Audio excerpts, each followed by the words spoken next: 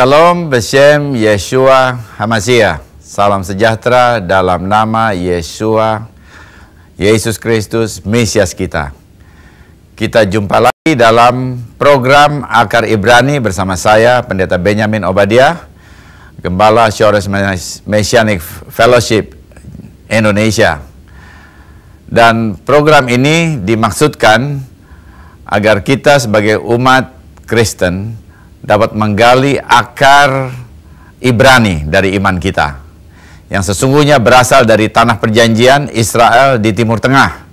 Yesaya 2 ayat 3 mengatakan sebab dari Sion akan keluar pengajaran dan firman Tuhan dari Yerusalem. Dalam program ini saudara akan mendengar pengajaran dari Sion dan firman Tuhan dari Yerusalem. Dan hari ini kita akan membahas satu topik yang menarik yaitu bagaimana gereja Kristen meninggalkan akar Ibraninya. Dalam topik ini kita akan melihat bagaimana umat Tuhan yang hanya adalah satu kesatuan, baik Ibrani, baik Yahudi maupun bangsa-bangsa, itu kemudian mulai terpisah bahkan kemudian saling melihat itu sebagai saling melihat uh, mereka masing-masing sebagai sesuatu yang tidak baik atau dengan perkataan lain saling bertentangan satu sama lain. Jadi kita akan membahas dalam topik ini uh, apa sesungguhnya yang ter terjadi dalam sejarah kita. Tapi sebelum ini kita akan mendengar damai di tempat tinggi Tuhan memberikan damai sejahtera kepada kita dan seluruh Israel. Umat Kristen bangsa-bangsa berkumpul di En-Gedi di Israel untuk merayakan Sukkot bersama dengan umat Israel Yahudi Mesianik saat itu ya yang kita melihat di dalam uh, tayangan yang tadi sudah ditunjukkan dan memang saudara kita memang berasal dari iman yang sama. Iman Kristen berasal dari tanah Ibrani. Kita katakan demikian. Berasal dari Hebraic soil, Jewish soil. Jadi kalau begitu maka memang harus ada kesamaan, kemiripan-kemiripan yang ada. Tetapi ternyata bersama dengan sejarah kita melihat ada perbedaan-perbedaan bahkan saat ini masing-masing uh, umat, baik umat Israel, umat Yahudi, itu memandang kekristenan bangsa-bangsa sebagai sesuatu yang seakan-akan mengancam mereka, dan kekristenan juga melihat kepercayaan umat Israel uh, yang disebut Judaisme itu juga mengancam mereka. Karena itu, kita coba lihat sejarah supaya kita bisa memahami satu dengan yang lain. Bagaimana gereja Kristen meninggalkan akar Ibraninya. Banyak orang Kristen menyangka bahwa Yeshua Hamasiah, Yesus Kristus, itu membangun gereja seperti yang mereka lihat sekarang. Tujuannya adalah membangun gereja seperti yang kita punya sekarang di abad 21.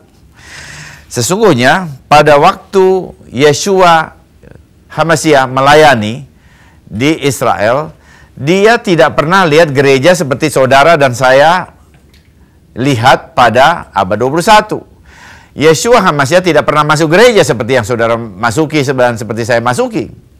Dia melihat sinagog dan dia masuk ke sinagog, dia berdoa di sinagog, dia beribadah di sinagog, dia berkhotbah di sinagog. Dan sinagog itu tetap ada sekarang. Kalau saudara pergi ke Israel, saudara lihat ada banyak sinagog. Jadi itulah yang sesungguhnya uh, rumah ibadah Yahudi yang di yang dimasuki dan uh, dikenal oleh Yeshua Hamasya. Jadi um, kita melihat bahwa waktu Yesua masuk dalam sinagog atau rumah ibadah atau rumah sembayang orang Yahudi, maka dia uh, membaca Torah dan dia uh, mengajarkan Torah dan kitab nabi-nabi kepada semua yang hadir pada saat itu. Dan murid-murid Tuhan itu disebut penganut jalan. Ya, murid-murid Yesua Hamasiah itu yang 12 orang itu tidak pernah disebut Kristen. Saya ingin beritahu kepada saudara bahwa mereka tidak pernah disebut Kristen. Mereka menyebut diri mereka penganut jalan Tuhan.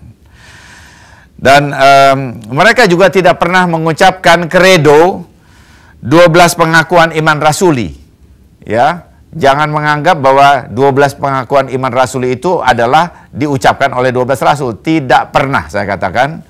Kenapa demikian? Sudah lihat sejarah. Jangan lihat dogma, lihat sejarah. Um, 12 pengakuan iman rasuli itu muncul pada bentuk yang paling primitif artinya bentuk yang paling awal itu pada tahun 215 Masehi. Jadi rasul-rasul itu sudah meninggal semuanya di abad pertama. Jadi tidak pernah mendengar, melihat 12 pengakuan iman rasuli. Itu hanya sebuah nama ya. Dibuat oleh bapak-bapak gereja kemudian diberi nama itu. Nah, kemudian istilah Kristen itu di dalam Alkitab yang uh, kita pegang itu sesungguhnya berasal dari bahasa Yunani uh, dengan perkataan Kristianoi. Kristianoi. Dan perkataan Kristianoi itu baru muncul ketika Injil dikabarkan kepada bangsa-bangsa. Kepada goyim, kita katakan demikian ya, dalam bahasa Ibraninya. Dan itu baru tercatat ketika Injil mencapai kota Antioquia. Antioquia itu adanya di Syria ya di negara Syria di sebelah utara Israel. Tercatat dalam kisah Rasul pasal 11 ayat 26 dan siapa yang menamakan dirinya Kristianoi ternyata Kristianoi itu adalah nama julukan kepada orang-orang Yunani atau Romawi ya yang percaya bahwa Yesua HaMasiah atau disebut Yesus Kristus itu adalah juru selamat. Jadi uh, julukan itu di, dibuat oleh orang Yunani sendiri ditujukan kepada orang Yunani juga. Jadi bukan kepada murid-murid Yesua yang orang Yahudi. Nah, ini saudara harus tahu bahwa ungkapan atau istilah Kristianoi bukan ditujukan pertama kali kepada murid-murid Yeshua HaMasiah di Yerusalem, tetapi kepada orang-orang Yunani, bangsa-bangsa yang percaya Yeshua adalah Mesias dan Tuhan di kota Antioquia. Ya, uh, kenapa Kristianoi? Karena di dalam bahasa Yunani Mesias itu uh, terjemahannya adalah Kristos. Kristos artinya yang diurapi. Lalu umat yang percaya kepada Kristus yang diurapi itu penganut uh, ajaran Kristus itu adalah Kristianoi. Jadi kemudian diterjemahkan menjadi Kristen. Murid-murid Yeshua yang ber, uh, berasal yang mempunyai etnisitas Yahudi atau Ibrani itu menyebut dirinya penganut jalan atau Nasratim. Ya, Nasratim Saudara bisa lihat uh, penganut jalan itu tercatat dalam kisah Rasul 24 ayat 5. Dan sebagai uh, penganut jalan dalam agama Yahudi, ya, uh, murid-murid percaya bahwa keselamatan kekal itu melalui iman kepada Mesias Yesua. Jadi Yesua itu berasal dari Tuhan, berasal dari Bapa Surgawi yang diberikan dan orang yang beriman kepadanya mendapatkan keselamatan kekal. Dan um, ini berbeda dari mayoritas pada waktu itu ya atau pemimpin-pemimpin Yahudi pada saat itu. Mereka percaya bahwa orang yang lahir sebagai orang Yahudi mereka pasti akan mendapat bagian dalam olam haba atau dunia yang akan datang. Dunia yang akan datang itu dunia yang yang bukan dunia yang fana ini, dunia yang akan datang, dunia yang kekal, ya dan itu artinya selamat. Jadi keselamatan mereka didasarkan dari keyahudiannya. Jadi kita bisa melihat bahwa uh, murid-murid Yesua mempunyai dasar keselamatan yang berbeda dari orang-orang Yahudi atau pemimpin-pemimpin Yahudi pada saat itu. Nah, uh, kita kita perlu memahami ini supaya kita bisa membedakan bahwa ada perbedaan sama-sama Yahudi tetapi yang satu percaya kepada Mesias Yesua yang lain belum. Mereka hanya mendasarkan pada uh, keyahudiannya. Nah, di bawah pemerintahan kekaisaran Romawi, maka kepercayaan Yahudi itu mendapatkan status yang baik. Jadi semua jajahan Romawi itu harus menyembah dewa Mitras, dewa matahari Mitras, uh, kepercayaan orang Romawi. Jadi menyembah dewa matahari. Tetapi khusus untuk bangsa Yahudi, mereka tetap diperbolehkan menyembah Yahweh Elohim, Tuhan Abraham, Ishak dan Yakov yang berpusat di Yerusalem di Bait Suci. Jadi mereka mendapatkan status yang baik ya, yang berbeda. Nah, hal ini disebabkan karena ada e, jasa dari kaum Farisi yang kuat. Jadi jasa dari kaum Farisi atau masa Farisi yang mempunyai hubungan yang kuat sekali dan mereka menguasai akar rumput, mereka juga mempunyai akses ke bait suci, mereka mempunyai akses pada penguasa. Di bait suci juga ada masab yang lain disebut Saduki, imam-imam, mereka juga satu kekuatan politis juga. Jadi e, karena mereka itu kuat hubungannya dengan Roma, maka Roma membiarkan bangsa Yahudi menyembah Tuhannya. Dan waktu orang-orang ya, Yahudi yang percaya pada Yeshua Hamasiah uh, itu mereka mereka itu percaya kepada Mesias Yeshua dan menyembah Tuhan, uh, mereka diperlakukan sama seperti orang Yahudi yang belum percaya pada Yeshua. Yang penting mereka ada dalam kepercayaan Yahudi. Tapi kemudian ketika bangsa-bangsa yang lain itu mulai percaya, maka orang Farisi itu melihat, eh mereka ini bukan orang Yahudi, tapi mereka percaya kepada Mesias, Ibrani, dan mulai menyembah Tuhan Abraham, Isa dan Yakub seperti mereka juga menyembah Tuhannya sama, tetapi dengan kepercayaan yang ada uh, berbeda sedikit. Lalu mereka merasa bahwa orang-orang ini perlu masuk dan bahkan dituntut masuk ke dalam agama Yahudi secara resmi yang disebut dengan proselyte mereka menjadi Yahudi secara resmi. Nah, barangkali ini satu latar belakang untuk melihat kejadian sejarah berikut ini. Pada tahun 66, maka terjadilah pemberontakan Yahudi yang pertama yang di, yang didorong oleh atau dimotori oleh uh, kaum Seloti. Dan Roma waktu melihat ada pemberontakan Yahudi, mereka sangat serius dengan ini.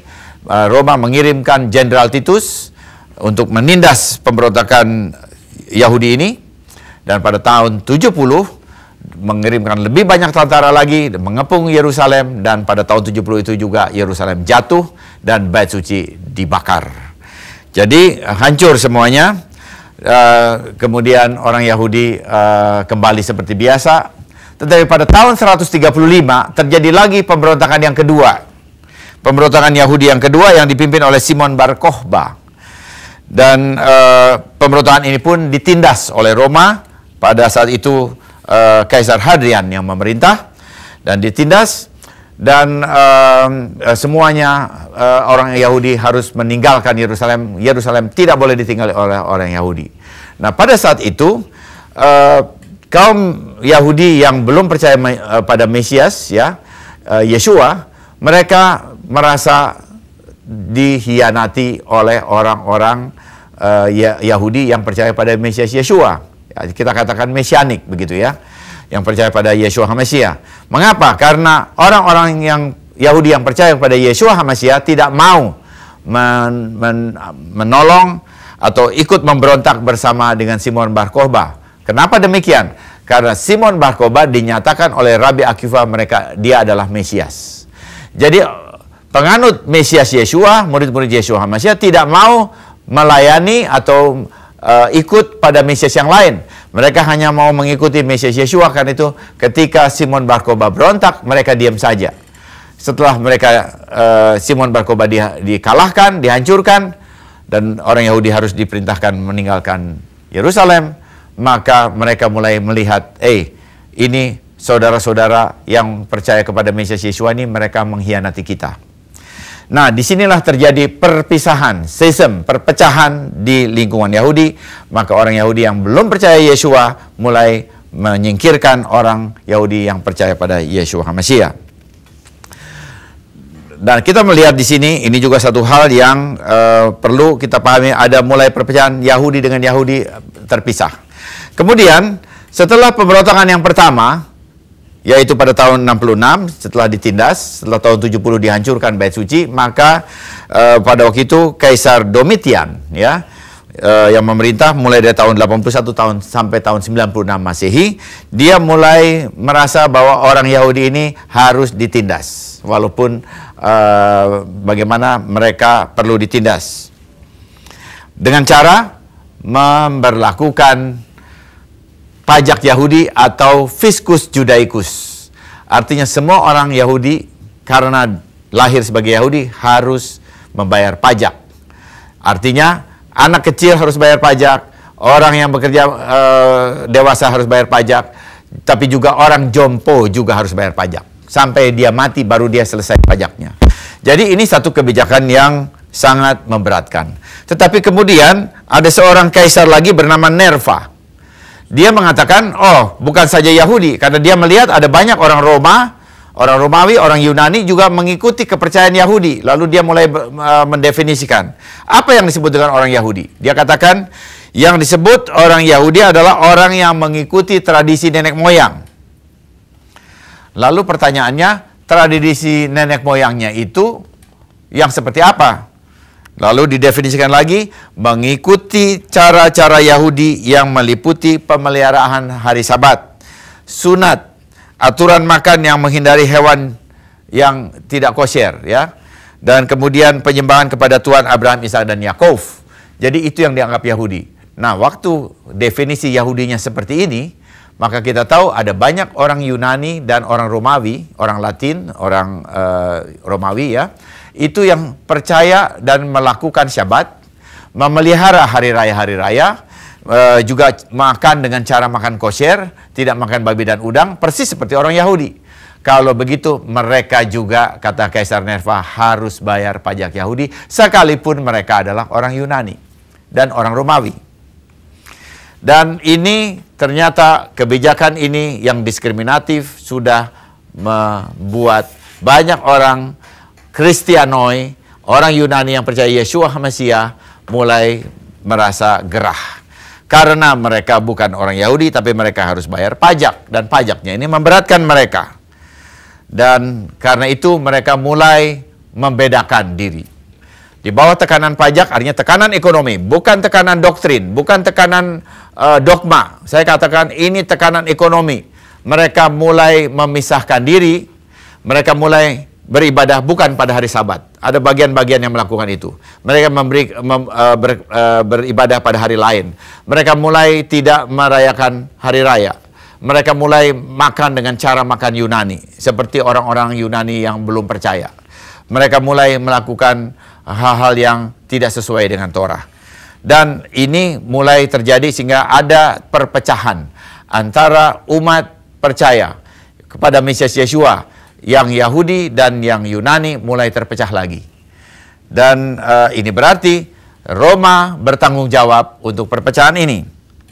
Dan kemudian ini ditambah lagi pada abad kedua. Mulai dari abad kedua ada pemimpin-pemimpin gereja yang berasal dari Yunani yang berpikir seperti orang Yunani dan memang mereka orang Yunani yang berpikir dengan filsafat Yunani seperti Ignatius Kemudian juga ada ada yang lain, uh, ada Justin Martyr, ada Tertullian, ada uh, Clement dari Alexandria, Origen, John Chrysostom, Eusebius. Nah, semuanya ini adalah orang-orang Yunani dan mereka tidak mau membiarkan diri mereka terkena pajak Yunani dan mereka membela bangsanya dan mereka mulai mengajarkan bahwa orang Kristen berbeda secara dogmatis dengan dalam segi pengajaran dengan orang-orang Yahudi. Dan mereka memisahkan diri dari jemaat Yahudi yang percaya pada Yeshua HaMasyiah dan mereka mulai mengajarkan bahwa gereja sudah menggantikan Israel. Jadi mereka mulai memunculkan uh, pengajaran antisemitisme, antisemitik, anti-Yahudi dan uh, mereka mulai melakukan ini tetapi itu sebetulnya masih hanya beberapa tempat saja, beberapa jemaat saja. Tapi seluruh dunia kemudian betul-betul men meninggalkan akar Ibrani ketika Konstantin memerintah di Romawi pada tahun 321 secara resmi di seluruh dunia. Konstantin mengumumkan ibadah resmi agama Kristen itu dipindahkan dari hari Sabtu ke hari Minggu. dari Sabat ke hari Minggu. Kemudian uh, kenapa dipilih hari Minggu? Karena hari Minggu adalah hari berbakti agama Mitras Romawi. Jadi semua orang Romawi berbakti kepada uh, Dewa Mitras pada hari Minggu. Dia buat supaya sama dengan aga, uh, dengan orang-orang Yuna, uh, orang Yunani dan Romawi yang lain. Dan kemudian uh, pada tahun uh, 325 Konstantin membuat satu uh, konsili yang disebut dengan Konsili Nicea dan dalam Konsili Nicea itu diputuskan hari raya Pesak atau Paskah itu diganti namanya dengan Easter dan dirayakannya bukan pada tanggal 14 Nisan tetapi dirayakan pada hari Minggu. Jadi dengan demikian ini sudah uh, menjadi agama yang berbeda sama sekali. Kemudian pada tahun 336 ia juga mendaulat bahwa tanggal 25 Desember yang pada saat itu sesungguhnya ada hari raya Saturnalia Romawi dan Sol Invictus pemujaan Dewa Mitras itu didaulat menjadi hari lahir Yeshua HaMashiach, Yesus Kristus. Sehingga sejak saat itu orang Kristen merayakan 25 Desember sebagai hari kelahiran Yesus Kristus. Jadi kita melihat di sini Tuhan melihat terlalu banyak yang dicemari oleh Konstantin. Satu tahun setelah dia menyatakan uh, 25 Desember itu adalah hari kelahiran Yesus Kristus tahun 337 dia mati. Dan uh, kita lihat di sini bekas-bekas dari Konstantin ada sampai abad 21. Jadi dengan cara itu gereja Kristen sudah tercabut akarnya dari tanah Ibrani. Pemirsa, jika saudara mempunyai pertanyaan, komentar terhadap program Akar Ibrani, saudara dapat menuliskannya itu mengirimkan ke nomor HP yang tertera di layar televisi saudara. Dan saya akan menanggapinya uh, dan saya senang menerima saran-saran, ide-ide, pertanyaan-pertanyaan supaya kita dapat berkembang uh, bersama, uh, tumbuh imannya bersama untuk kemuliaan Tuhan. Saudara, dari topik sejarah yang kita pelajari hari ini, bagaimana gereja Kristen meninggalkan akar Ibraninya. Kita melihat ada dua kesimpulan, dua butir kesimpulan. Saya akan simpulkan pertama perpisahan umat Kristen bangsa-bangsa dari umat Yahudi yang percaya tidak dapat dilepaskan dari kebijakan diskriminatif kekaisaran Roma yang memperlakukan pajak Yahudi atau fiskus judaicus. Jadi motif awal dari perpisahan Kristen bangsa-bangsa dari orang Yahudi percaya itu bukan dogma, bukan karena uh, perbedaan etnis, bukan, tetapi karena pajak Yahudi, kebijakan diskriminatif yang berhubungan dengan ekonomi. Dari sana kemudian mereka mulai membedakan diri. Dan saudara, uh, ini berarti uh, kita harus melihat aspek ini dan supaya kita bisa melihat bahwa kita di dalam Mesias Yeshua kita bersaudara sesungguhnya baik Yahudi maupun Yunani maupun bangsa-bangsa semuanya satu di dalam Tuhan. Yang kedua, pemimpin-pemimpin Yunani Romawi, Greco-Roman leaders ya pada abad 2 sampai 4 yang disebut dengan bapak-bapak gereja waktu mereka memisahkan diri, menarik diri dari jemaat-jemaat Yahudi yang ada pada saat itu, mereka me memerlukan argumen. Lalu argumennya itu adalah untuk memisahkan, untuk melihat bahwa Yahudi itu berbeda dari bangsa-bangsa. Bahwa Yahudi itu mereka sudah terlibat dalam penyalipan Yesua. Lalu uh, mereka membuat stigma negatif terhadap Torah dan bangsa Yahudi. Dan stigma negatif itu terus-menerus diajarkan, ada dalam tulisan, dalam pengajaran. Torah itu jadi momok, Torah itu sesuatu yang sebetulnya hanya mengikat, suatu beban, dan bangsa Yahudi itu uh, adalah bangsa yang menyalibkan Yeshua. Itu terus-menerus disampaikan dalam tulisan, dan ini membuat uh, umat Kristen bangsa-bangsa itu terpisah dari dari umat Yahudi. Sesuatu yang sesungguhnya Yesua sendiri tidak menghendakinya. Yesua menginginkan uh, domba-domba dari kandang Yahudi dan domba-domba dari kandang bangsa-bangsa itu dipersatukan di bawah satu pengembalaan. Karena itu adalah peran kita sebagai orang yang percaya di abad 21 kita membangun jembatan persahabatan antara orang Kristen yang sudah menerima berkat-berkat Tuhan kitab suci uh, dari orang Yahudi supaya kita boleh kembali dipersatukan di dalam Mesias Yeshua. Dan uh, kita perlu mengatakan kepada mereka, kami adalah sahabat-sahabatmu dan kita mau menyembah Tuhan, kita menunggu Tuhan sampai pada kedatangan yang kedua. Dan melalui gerakan mesianik ini terbuka dan kita akan dipersatukan waktu Yeshua datang kedua kalinya. Saudara pemirsa, tiba saatnya bagi saya untuk mengundurkan diri dari ruang dengar saudara. Kiranya damai sejahtera Tuhan menyertai saudara. Lehit raut sampai jumpa pada program yang mendatang.